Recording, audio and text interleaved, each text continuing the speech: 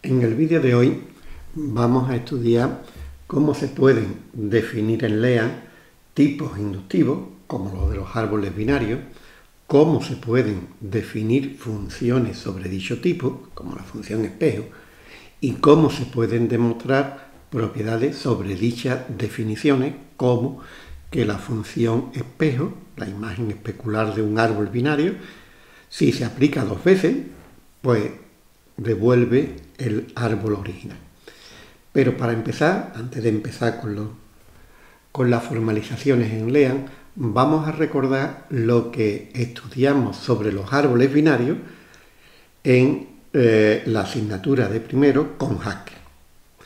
Bien, concretamente, en la relación de ejercicio 41, bueno, aquí está el enlace a el libro donde están las soluciones de los ejercicios, en el curso 2016, bien, y la relación 41, pues nos plantea definir y demostrar esas propiedades. Claro que en primero lo hacíamos con Haskell y se demostraban a mano. Pero vamos a ir recordando porque la traducción va a ser casi literal. La traducción de Haskell y la demostración a mano a la definición y demostración en lea casi, casi literal.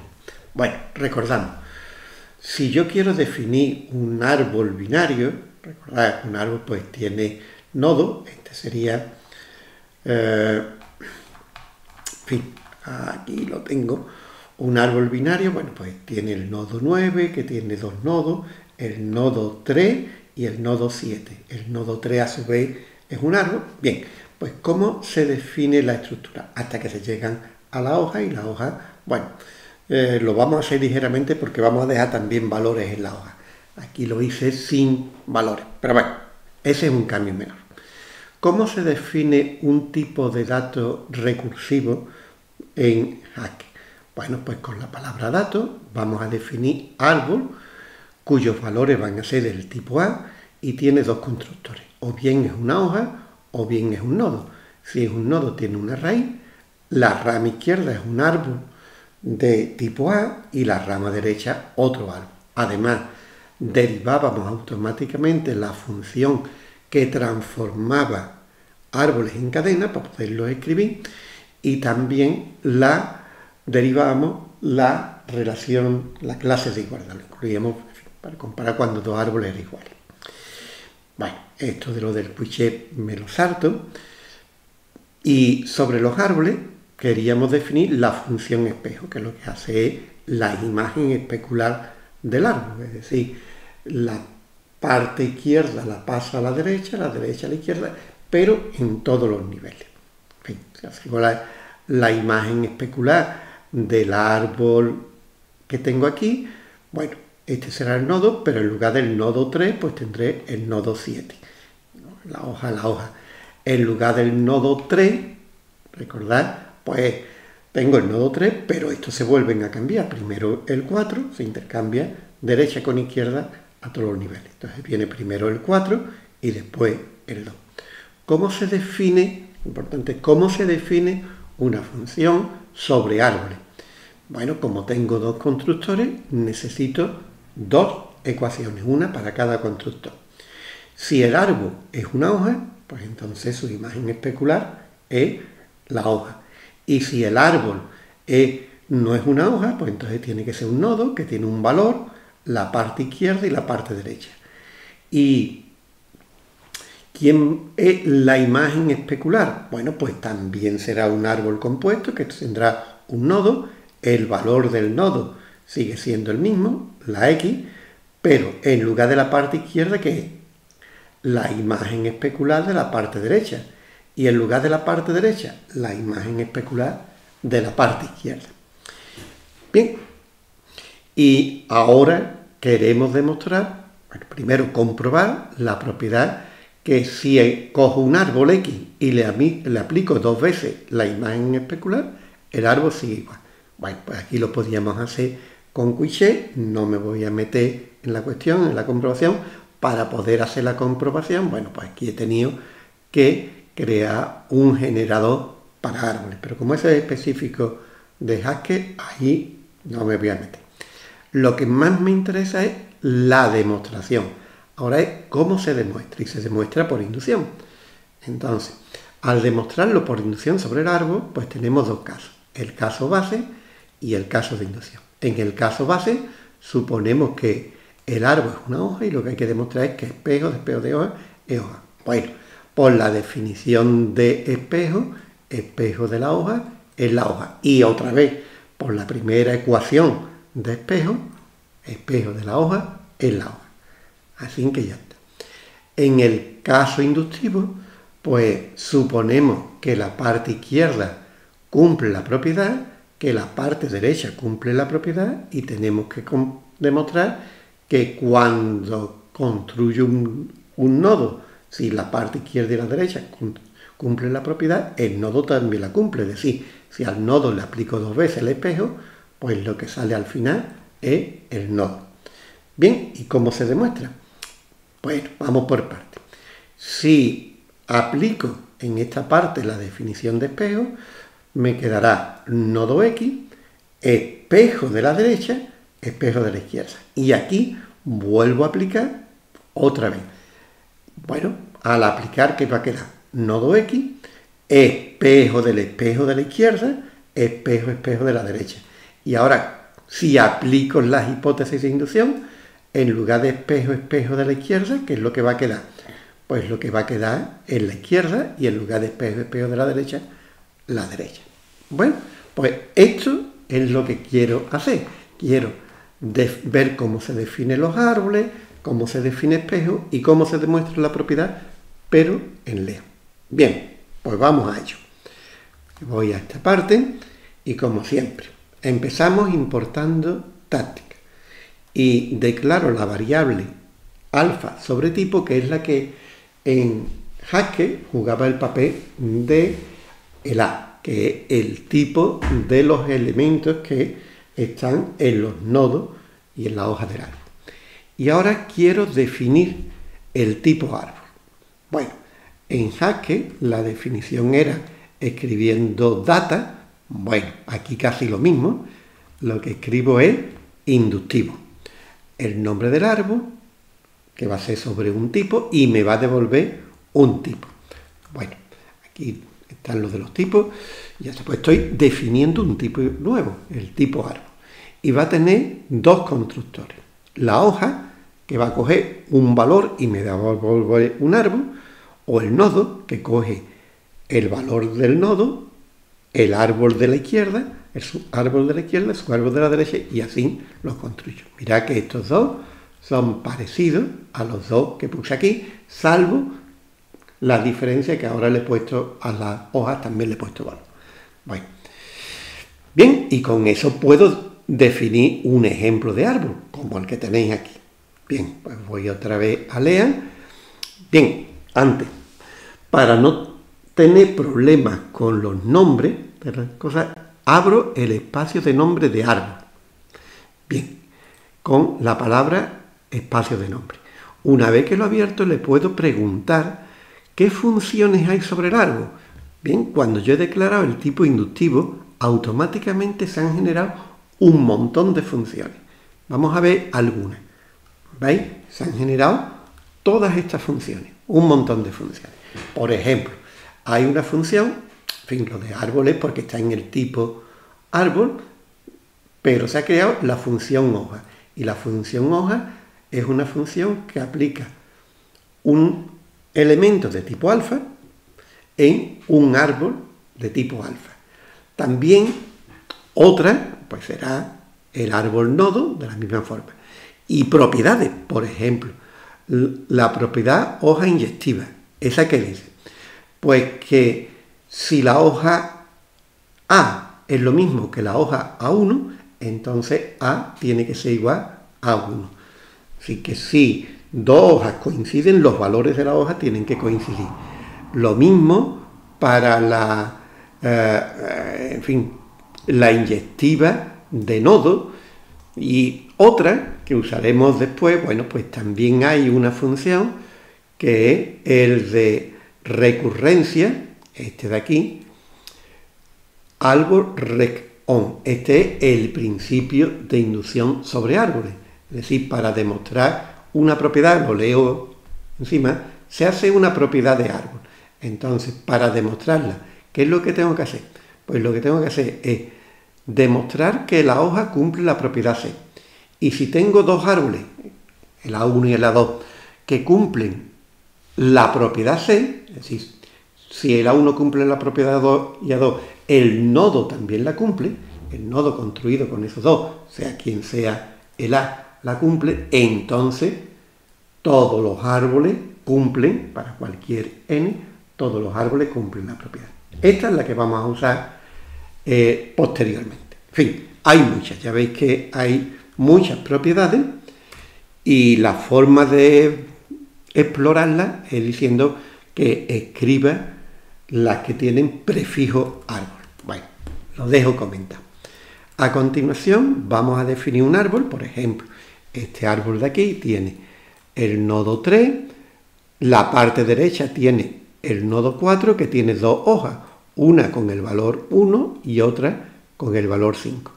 Esta es la parte izquierda del árbol completo y la parte derecha solo tiene una hoja que tiene el valor 4. Está clara la representación, ¿no? Pero recordad que aquí pusimos que se derivara la función de escritura. En LEAN tenemos que definir quién es la función de escritura. Y para definirlo, primero vamos a definir una función que coge un árbol y lo que me devuelve es una cadena. Es decir, coge un árbol y devuelve una cadena. El es representable alfa, el LEAN juega exactamente el mismo papel que el C de tipo mostrable, el show en hack, que tiene una función que lo transforma. Es decir, si tengo una función que me transforma elementos de alfa en cadena, pues voy a definir una función que transforma árboles cuyos valores son alfa en cadena. ¿Y cómo lo voy a hacer? En fin, si otra vez, eh, como son dos constructores, pues dos ecuaciones. Si es una hoja que tiene el valor x, ¿cómo lo voy a definir? La representación. Pues escribo la cadena h y a continuación, esto es la representación del el valor a. Bueno, aquí debería haberle puesto x. lo mismo da a que x, pero en fin, por homogeneidad porque ya lo voy a usar. Y si es un nodo, tendrá un valor, el árbol izquierdo y el árbol derecho. Entonces escribo la cadena n, la representación de la x, abrir un paréntesis, dejo un espacio y abrir un paréntesis, la representación, aquí la recursión del árbol izquierdo, cierro, abro paréntesis, la representación del derecho y cierro. Con eso, si yo ahora le pregunto, en fin, dibújame cuál es la representación del árbol. Bueno, veis que me escribe exactamente esa cadena. Bien, y ahora lo que quiero es que siempre el árbol me lo escriba usando la representación que acabamos de definir. Para eso declaramos que los árboles van a ser instancias de los elementos, del tipo de objetos que tienen representación y la función que voy a utilizar para representar los árboles es la que acabo de hacer. ¿Eso qué es lo que quiere decir?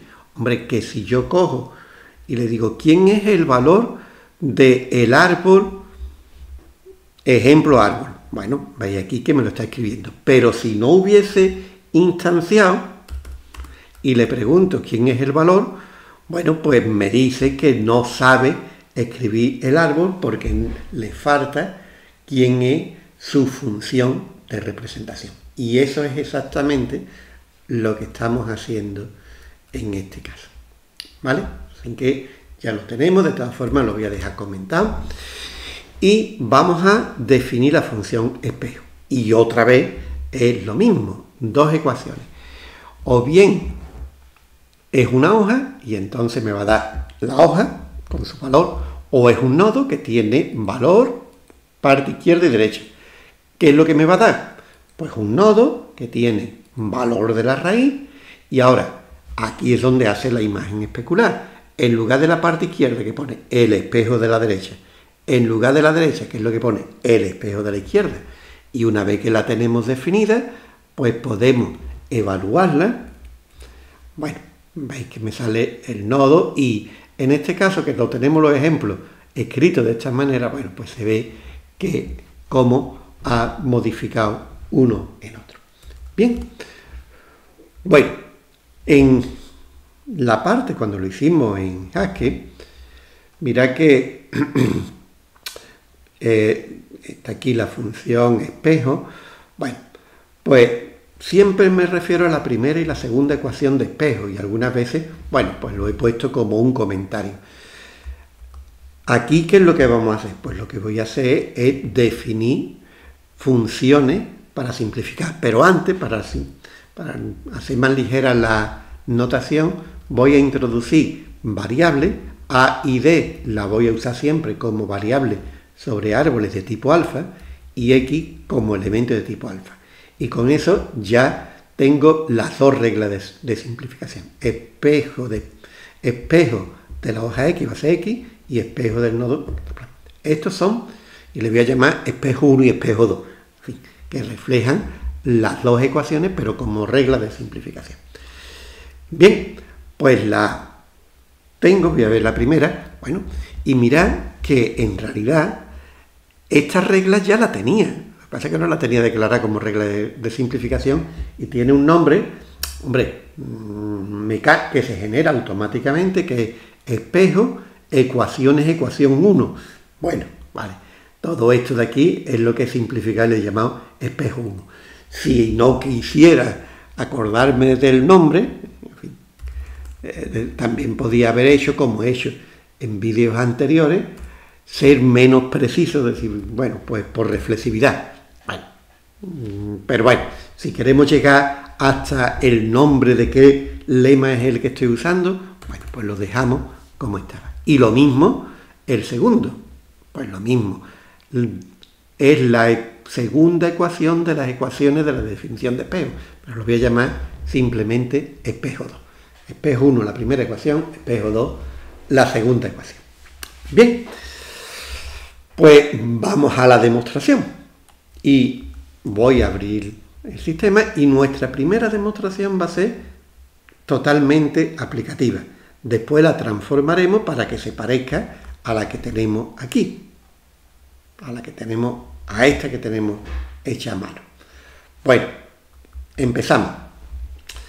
Bien, tengo que hacer la demostración por inducción en A. Hasta aquí ya está. Bueno, aquí le pongo también X.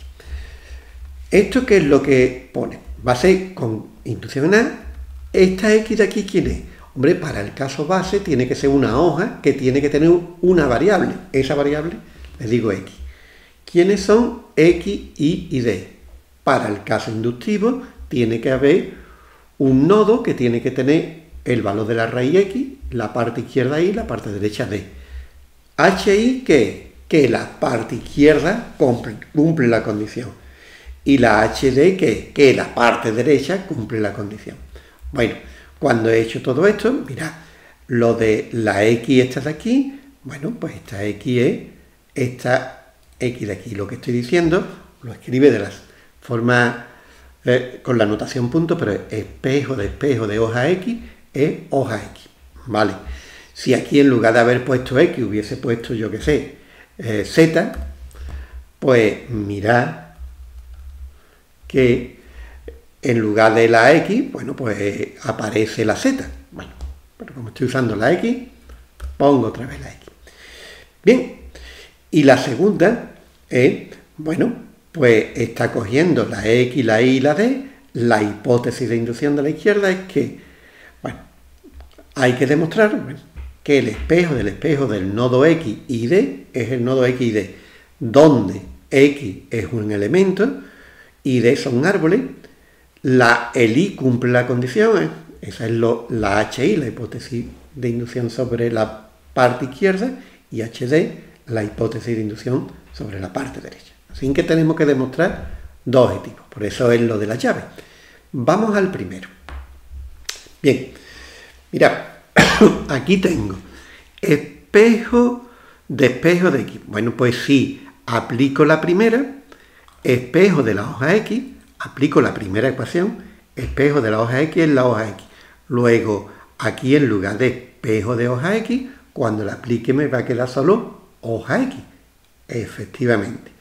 Y otra vez, si la vuelvo a aplicar, espejo de hoja X va a ser hoja X, que es lo que está en la derecha. Y con eso ya tengo de mostrar la primera propiedad. El primer caso, el caso base. Pues vamos al caso inductivo. Vamos a ver. Aquí tengo espejo, esta parte de aquí, espejo de un nodo. ¿Cómo puedo simplificarlo? Con la segunda ecuación. Si aplico la segunda ecuación, ¿qué es lo que va a quedar? Pues me va a quedar nodo, lo digo primero, nodo X, espejo de, espejo Y. Vamos a comprobarlo.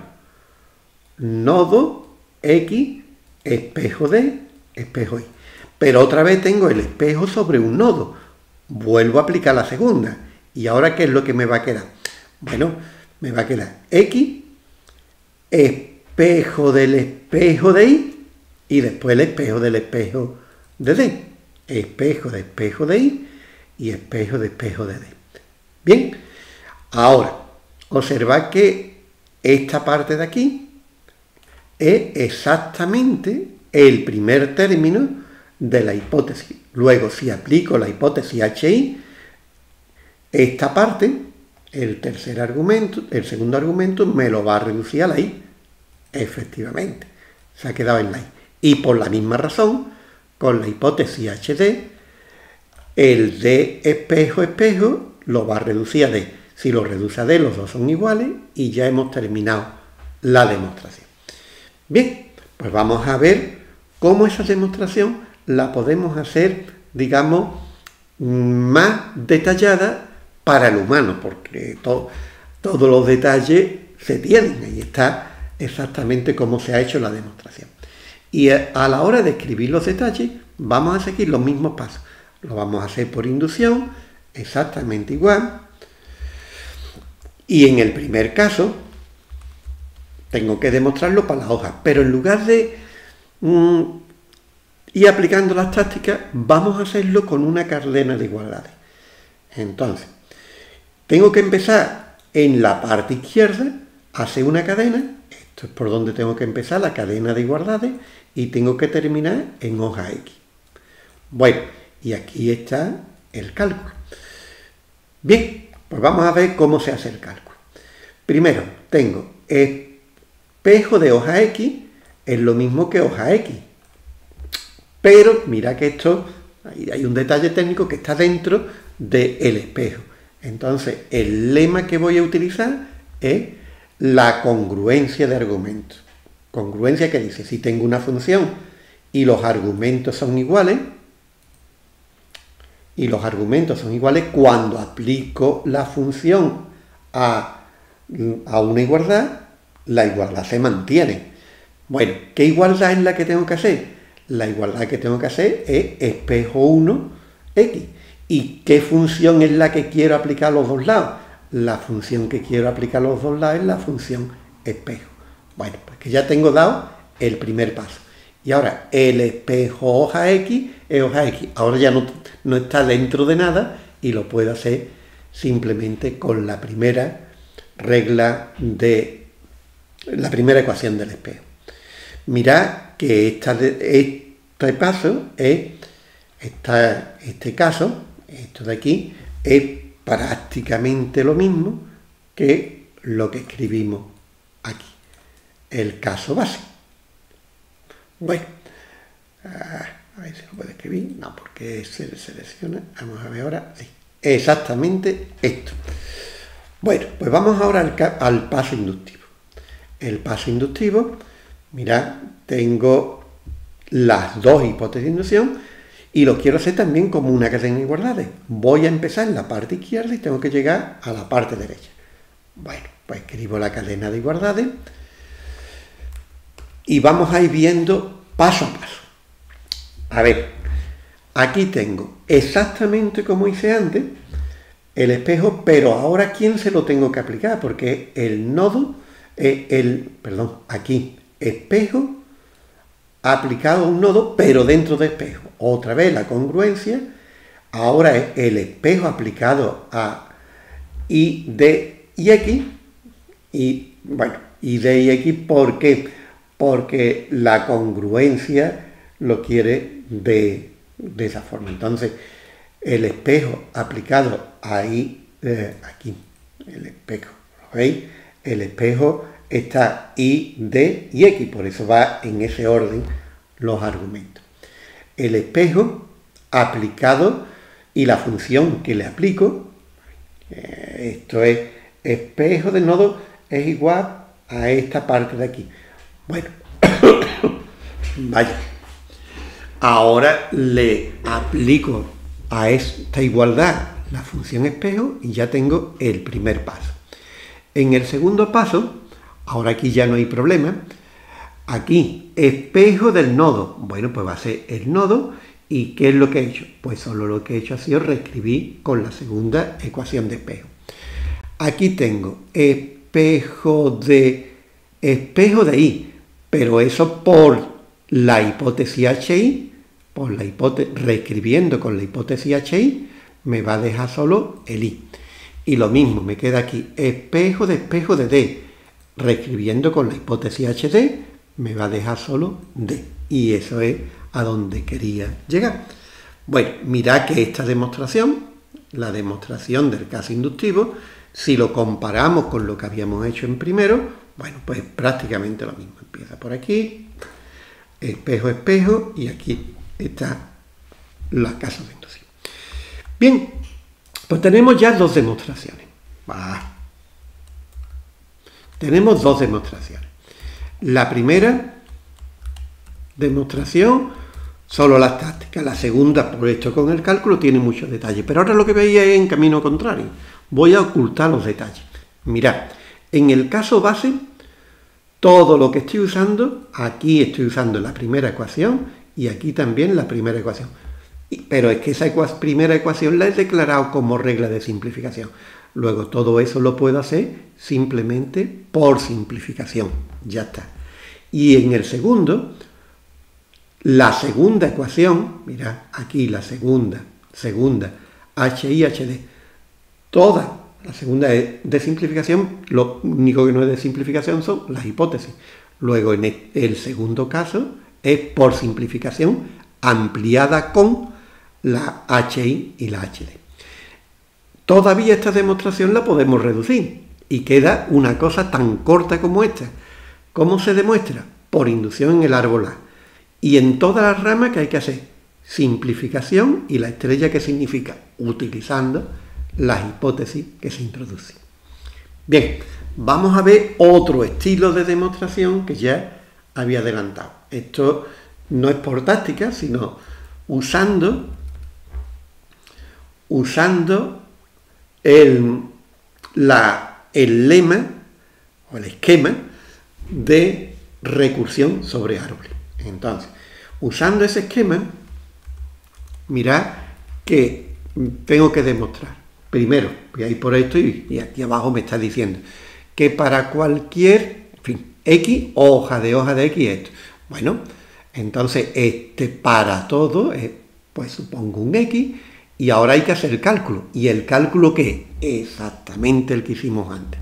No hay diferencia. Con eso ya he demostrado el primero. En el segundo, ¿qué es lo que dice? Para cualquier X, Y y D, en fin, voy a poner nuestra notación, este A lo voy a llamar X, el A1 le voy a llamar Y y el hay condición que, hombre, la hipótesis de inducción para la parte derecha. Y esta parte de aquí que es la hipótesis de inducción de al 2, al que hemos llamado derecha. Bueno, pues si lo supongo, ¿qué es lo que tengo que demostrar? Pues lo que tengo que demostrar es que el nodo, bueno, que el espejo de espejo del nodo, espejo de espejo del nodo, al final es el nodo XD. Y otra vez, como lo hago? Exactamente, todo este cálculo de aquí es exactamente igual que lo que habíamos hecho antes. Es un corte y pega.